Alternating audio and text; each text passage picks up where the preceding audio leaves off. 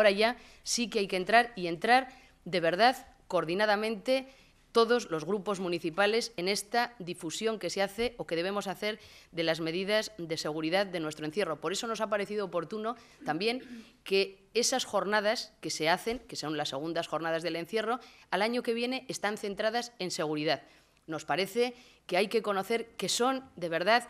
más de 500 personas las que trabajan diariamente en nuestro encierro que el sistema sanitario que tenemos en Pamplona es un sistema sanitario pues de más de 150 personas, que hay nueve puestos medicalizados, que tenemos ambulancias, otras nueve ambulancias también medicalizadas, eh, que están trabajando pues 250 policías, 150 eh, municipales, 100 forales, en la limpieza hay 40 operarios, hay colocación del vallado eh, por 70 personas, tenemos 11 pastores, hay eh, cuatro dobladores. Ido tomando, pues año tras año, trabajando con esa comisión, además del encierro, medidas de seguridad que creo que han dado buenos resultados. Y cada año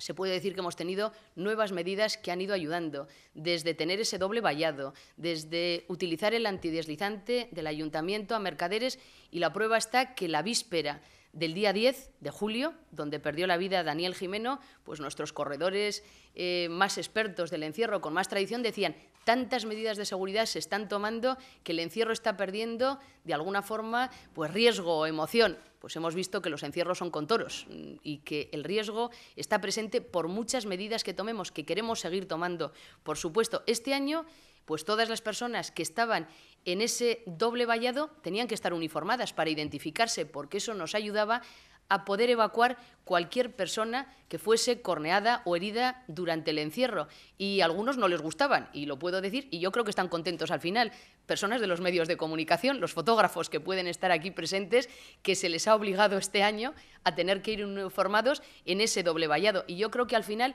el resultado ha sido positivo.